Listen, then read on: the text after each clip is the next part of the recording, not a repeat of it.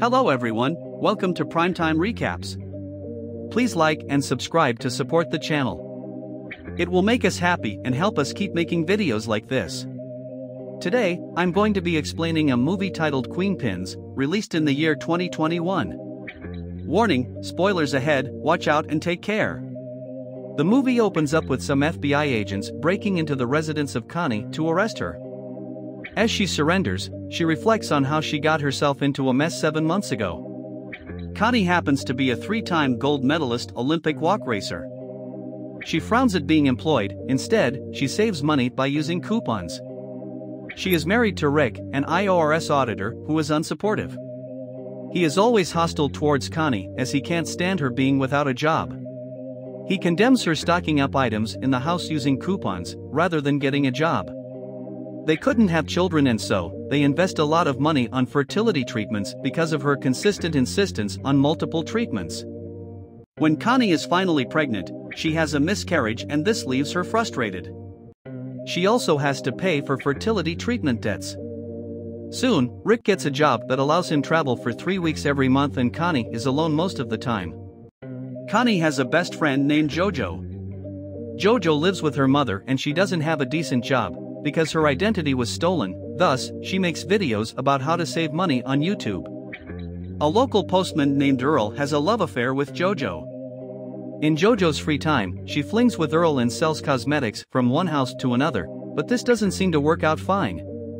For every time Connie goes to the store, she buys things in bulk and offers the cashier, Greg, numerous coupons for the purchase made.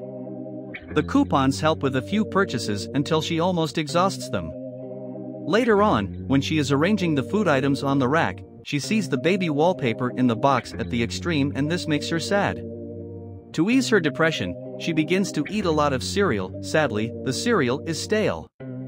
She then decides to write a complaint letter to the cereal company about the stale cereal. In a few days, she receives a free box of cereal. Greg doesn't see the big deal in the company giving her a free box after she complained. He says it's the norm. Connie later intimates Jojo about her new plan of sending complaint messages to companies to get coupons. She sends multiple complaint messages to companies to get multiple coupons, even if there's nothing wrong with the products.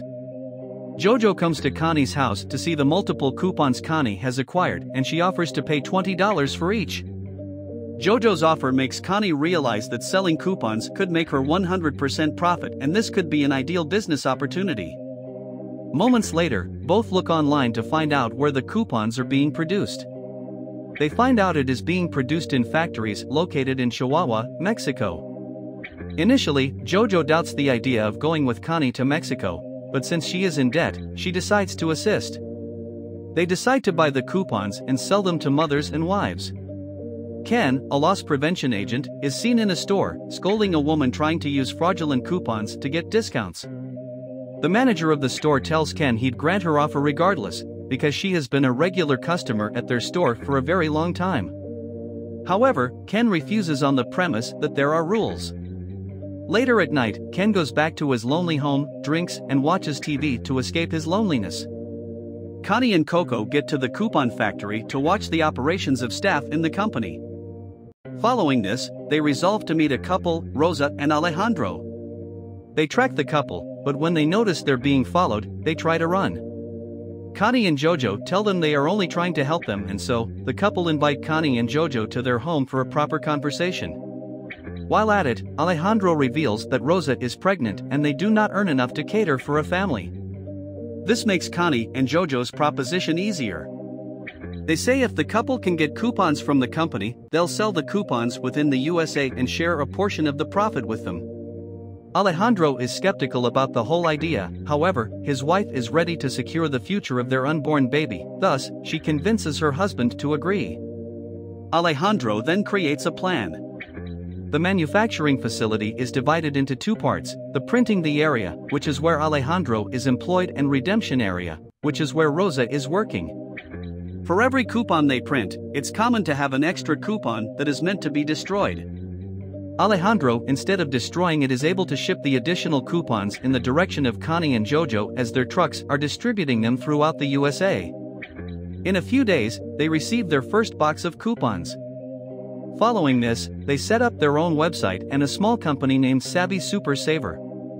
JoJo promotes their site on her YouTube channel, and this helps them sell a large number of coupons and make a lot of money.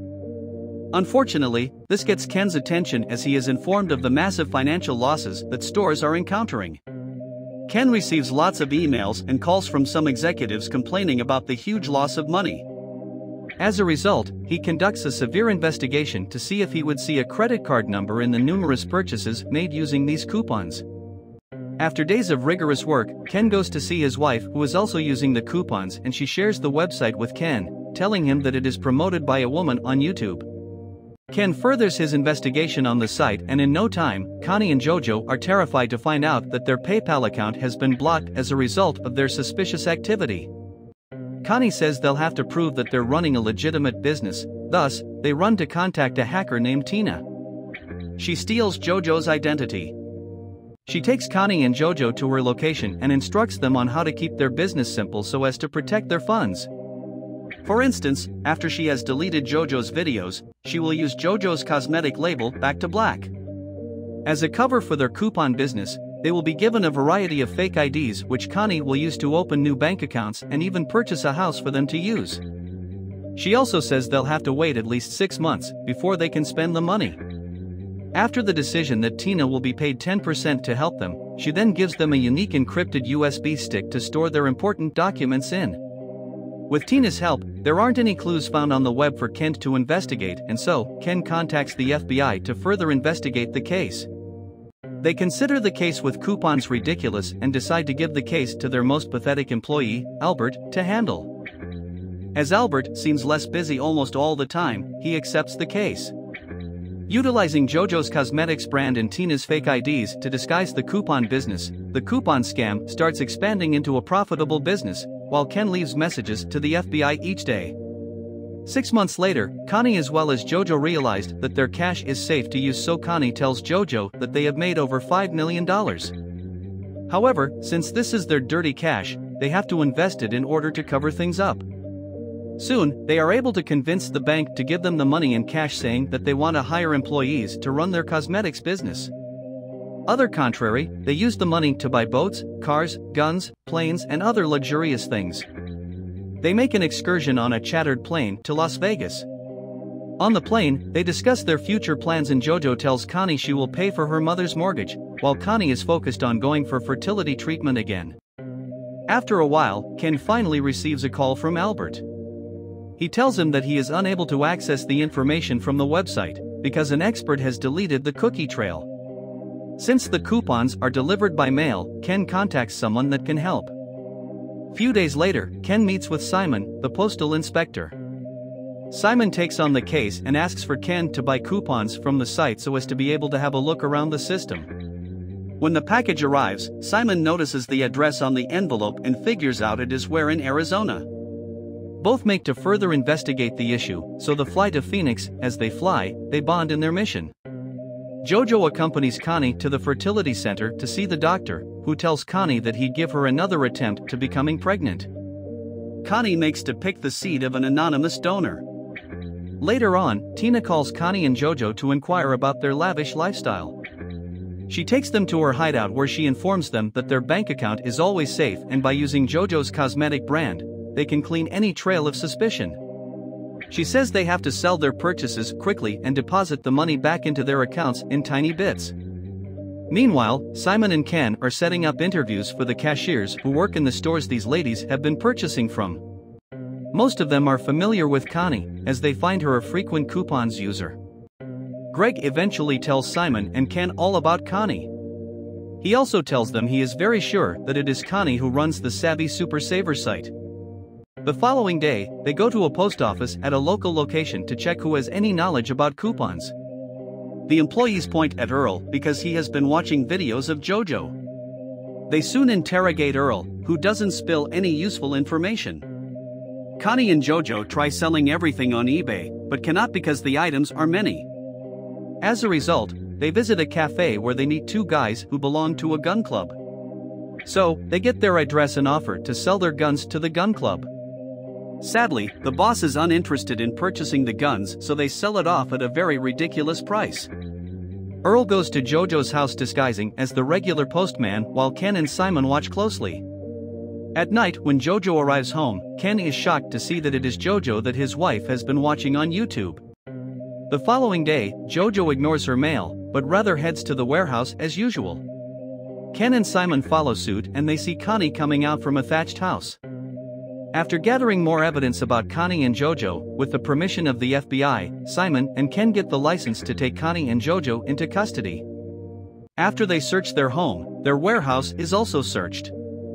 Their arrest is broadcast and Earl is shocked to see that Jojo is arrested for fraud.